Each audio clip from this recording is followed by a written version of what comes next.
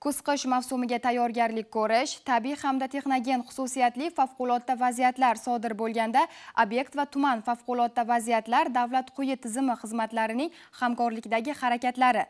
Ayni mavzudagi navbatdagi maxsus taktik o'quv mashqlari sarosiyo tumanida o'tkazildi. Tafsilotlar navbatdagi lavhamizdan o'rin olgan. Dastlab o'quv mashqining rejasiga ko'ra sariosiyo tumani madankon mahallasidagi sharg'un city aholi maskanida favqulodda vaziyatlar davlat quyi tizimi xizmatchilari shaxsiy tarkibining saf ko'rigi o'tkazildi. Shundan so'ng shartli ravishda hududdagi ko'p qavatli uylardan birida is gazi bilan zaharlangan fuqaroni xavfsiz joyga evakuatsiya qilish bo'yicha amaliy mashg'ulotga kirishildi.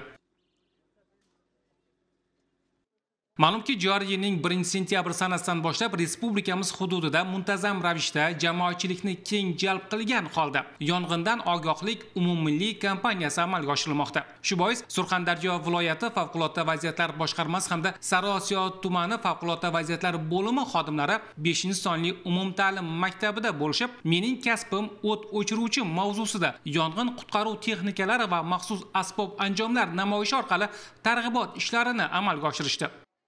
Tumandagi 9 sonli maktabgacha ta'lim tashkilotida bo'lgan mas'ullar profilaktik targ'ibot tadbirlarini o'zgacha ko'rinishda tashkil etishdi. Ular tarbiyalanuvchilarga yong'in o'chirish avtomobili va o't o'chiruvchilarning rang barang rasmlarini bo'yash mashg'ulotini o'tishdi. Shu orqali bolalarga yong'in qanday hollarda sodir bo'lishi mumkin va yong'in paytida qanday harakat qilish lozimligi uqtirildi.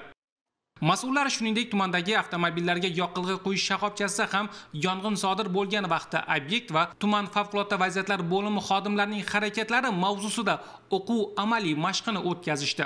Nazorat profilaktik tadbirlar hamkor tashkilotlar vakillari ishtirokida mahallalar kesimida xonadonbay amalga oshirildi. Fuqarolarga yong'in xavfsizligi qoidalariga amal qilish is gazidan zaharlanishdan saqlanish bo'yicha zaruriy ko'rsatma va tavsiyalar berildi. E'tiborli tomoni viloyat miqyosida bu kabi profilaktik tadbirlar keng ko'lamda davom etmoqda.